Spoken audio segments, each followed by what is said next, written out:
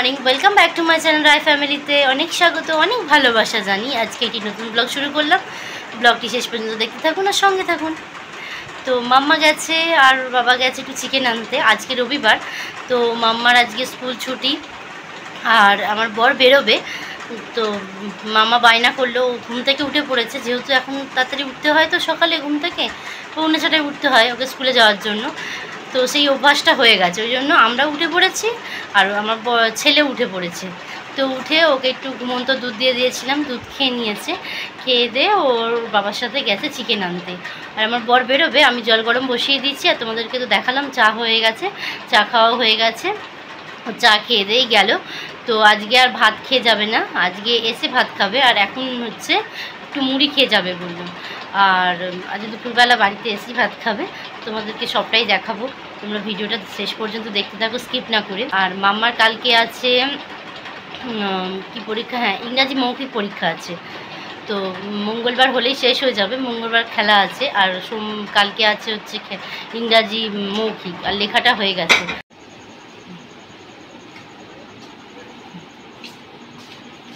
দাও।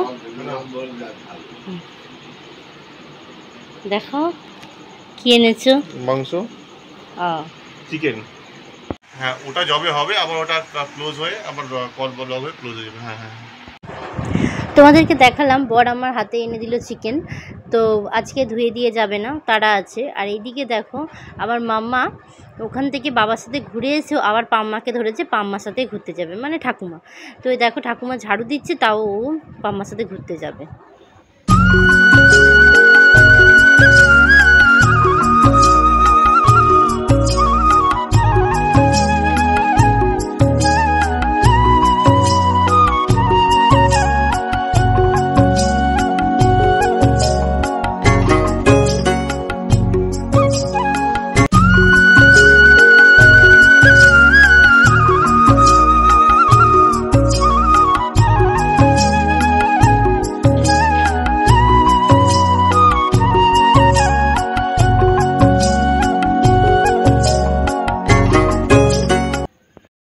বস স্নান টান করে দেখো খেতে বসে পড়েছে। আর ওকে দিয়েছি হচ্ছে মুড়ি মেখে দিয়েছি। কি দিয়ে কোনো তরকারি দিয়ে মুড়ি মেখে দিয়েছি আর ভুলে গেছি কি দিয়ে। আর হচ্ছে ঝুড়ি ভাজা আর বাদাম এগুলো চাই একদম মুড়ি খেলে। তো চলো ও খেয়ে দিয়ে বেরিয়ে যাক তারপর আসি তোমাদের সামনে। পরিষ্কার আসছি তো চলো ভিডিওটা শেষ পর্যন্ত দেখতে থাকো স্কিপ না করে। নিয়ে এলাম দেখো আখের রস। নিয়ে এত গরমে ছেলেকে একটু দেবো। তো এটা দশ টাকার গল্প করেই নিয়েছি, আদৌ খাবে কি খাবে না, আমি তো খাই না। তো চলো ছেলেকে আগে এটা খাইয়ে নিই। এদিকে দেখো আমার ঘর পরিষ্কার করা একদম পুরো হয়ে গেছে, বিছানা তোলা হয়ে গেছে, ঘর ঝাড়ু দেওয়া হয়ে গেছে। আর তোমাদেরকে তখন দেখালাম আখের রস কিনেছি, কিন্তু আমার মাম্মা একটুকুও খায়নি।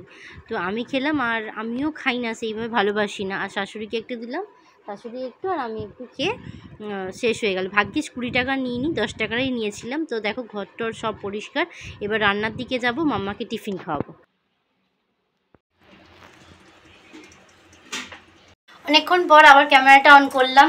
তো দেখালাম, আলু সেদ্ধ করেছিলাম। তো সবাইকার টিফিন খাওয়া হয়ে গেছে। মামাকেও খাইয়ে দিয়েছি। আর মামাকে স্নান করাবো, এদিকে সব কুটে নিয়েছি। তো চলো তোমাদেরকে একবার দেখিয়ে দিই, কী কী করলাম কী কুটলাম। এদিকে এই যে কলমি শাক কুটে নিয়েছি, ধুয়েও রেখে দিয়েছি, একদম জল ঝরতে দিয়ে দিয়েছি। আর যে ভাজা করব কলমি শাক, পেঁয়াজ দিয়ে। আর এদিকে আলু কেটে নিয়েছি মাংসর জন্য, এটা ভাজবো। আর এদিকে পেঁয়াজ, টমেটো, আর হচ্ছে ইয়ে ক্যাপসিকাম কেটে নিয়েছি। এদিকে রসুনটা ভিজিয়ে রেখেছি, পেস্ট করব। আদাটাও তাই পেস্ট করব, এখন এগুলো বাকি আছে। তো চলো আলুটা ভাজতে ভাজতে এগুলো আমার হয়ে যাবে। আর ওদিকে মাংসটা ধুয়ে ম্যারিনেট করতে দিয়ে দিয়েছি। তো চলো রান্নাটা শুরু করে দিই, রান্নাটা বসিয়ে দিই। ও ভাত বসিয়ে দিয়েছি, আর এবার আলুটা ভেজে নিয়ে তারপর কলমি শাকটা ভাজা বসাবো। তো চলো তোমরা দেখতে থাকো, ভিডিওটা স্কিপ না করে। তো এই যে আলুটা ভাজা বসিয়ে দিয়েছি, আর দিয়েছি এদিকে ভাত বসিয়ে দিয়েছি, দুটো ওভেনেই কাট চলছে, রান্না চলছে। আর তো চলো রান্নাটা করতে থাকি। চিকেনের আলুটা ভেজে রেখে তো তারপর শাকটা বসিয়ে দিয়েছিলাম। আর এদিকে দেখো ভাতটা ফুটছে, ভাতটা বসিয়ে দিয়েছি। তো হয়েই এসছে, আর একটুখানি বাকি আছে। আর এদিকে শাক ভাজাটাও হচ্ছে। আর এই দেখো, মাংসটা ম্যারিনেট করা অনেকক্ষণ আগে হয়ে গেছে। মাম্মারটাও করে রেখে দিয়েছি, আমাদেরটাও করেছি। আর কে কে এরকম আদা, রসুন পেস্ট করে একবারে অনেকটা করে রেখে দাও, তো প্লিজ জানিও আমাকে কমেন্ট করে। তো দেখো, এটা হচ্ছে রসুন বেটে রেখেছি, আর পাশেরটা হচ্ছে আদা বেটে রেখেছি। বেশ অনেকটা পরিমাণ করে বেটে রেখেছি যাতে আমার অনেক দিন চলে যায় মানে অনেক দিন বলতে ওই তিন চার দিন মতো আর কি চলে যায়। তো এবার এইগুলো নিয়ে ফ্রি আজকে যতটা দরকার ততটা নেব বাদ বাকিটা ফ্রিজে তুলে রেখে দেবো।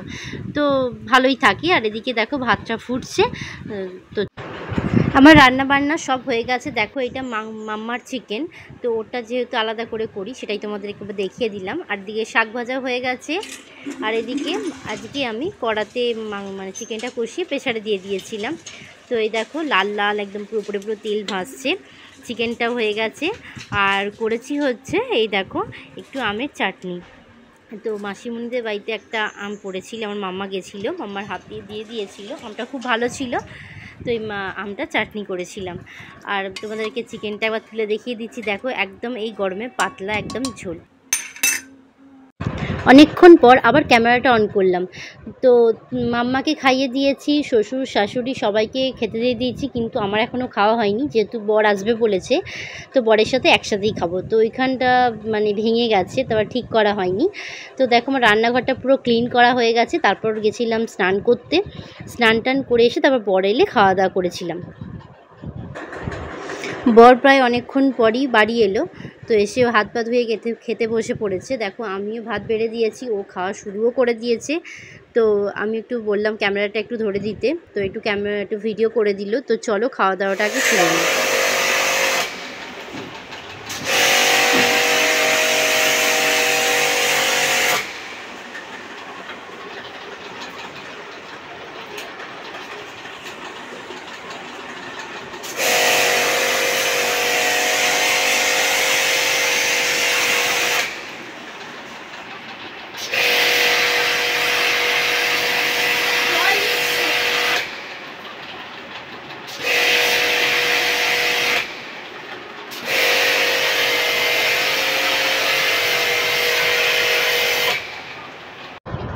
গুড ইভিনিং অনেকক্ষণ পর আবার তোমাদের সামনে এলাম। তো অনেকক্ষণ ক্যামেরাটা অন করাই হয়নি। তো আমার বর দুপুরবেলা সে খাওয়া দাওয়া করে আবার কাজে গেছিল।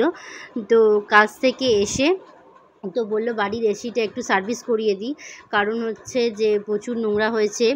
তো ঠান্ডাটা একটু কম হচ্ছে। তো সেই জন্য বলল, ঠিক আছে, তাহলে চলো, আজকে সময় আছে। আজকে তাহলে সার্ভিস করিয়ে দিই। যেহেতু গরমকাল, তো ওর সময় সেরকম এখন আর পাচ্ছে না সেইভাবে। তো অনেক রাত্রি করে বাড়ি আসছে, তো আজ একটু তাড়াতাড়ি বাড়ি এসছে, তো সেই জন্য করে দিল। তো দেখো ডামে জল নিয়ে তোমাদেরকে দেখালাম, প্রথমে জল দিয়ে সার্ভিস করে দিচ্ছে। আর বাড়িতে এরম মিস্ত্রি থাকলে আর চিন্তা কিসের? কোনো প্রথমে আগে ইনডোর মেশিনটা করছে, তারপরে আউটডোরটা করবে ছাদে গিয়ে। তো এই গরমকালটায় আমার বরের কাজের খুবই চাপাচাপি থাকে। একদিন তো রাত্রির একটা দেড়টার সময়তেও বাড়ি এসছে, আমি অত রাত্রির অবধি জেগেছিলাম। তো বাড়ি আসে, তারপর খাওয়া দাওয়া করে তারপরে ঘুমোই। তো এরা মানে কি, গরমকালটায় খুবই চাপ থাকে। শীতকালটায় থাকে কিন্তু এতটা পরিমাণে থাকে না গরমকালটাই বেশি থাকে এইসব কাজে।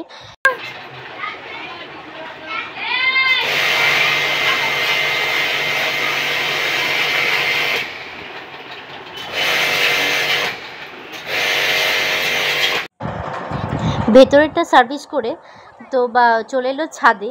তো দেখো ছাদে আউটডোর মেশিনটাও খুবই নোংরা হয়েছিল, খুব ধুলো পড়েছিল, তো সেটা জেট পাম্প দিয়ে সার্ভিস করে দিচ্ছে। আমাদের যেহেতু পাম্প নেই, তাই নিচ থেকে আমাদের টিউবওয়েল থেকে জল তুলে নিয়ে এসে এই ড্রামে করে এসে ও ধুয়ে দিচ্ছে। আউটডোর মেশিনটাও দেখো সার্ভিস করা হয়ে গেছে, তো সব কিছু খুলে নিচ্ছে, খুলে নিয়ে আমরা নিচে চলে গেছিলাম। আর তো চলো, আজকের ভিডিওটা আমি এই পর্যন্তই রাখলাম। যদি ভালো লেগে থাকে তাহলে অবশ্যই একটা লাইক কমেন্ট শেয়ার করবেন। আর আমার চ্যানেলে আরও নতুন নতুন ব্লগগুলি দেখতে হলে আমার চ্যানেলটিকে এক্ষুনি সাবস্ক্রাইব করে দিন। তো দেখো, এই যে এসির হচ্ছে সার্ভিস করার পর ফাইনাল লুক তো সবাই খুব ভালো থেকো, সুস্থ থেকো গুড নাইট টাটা!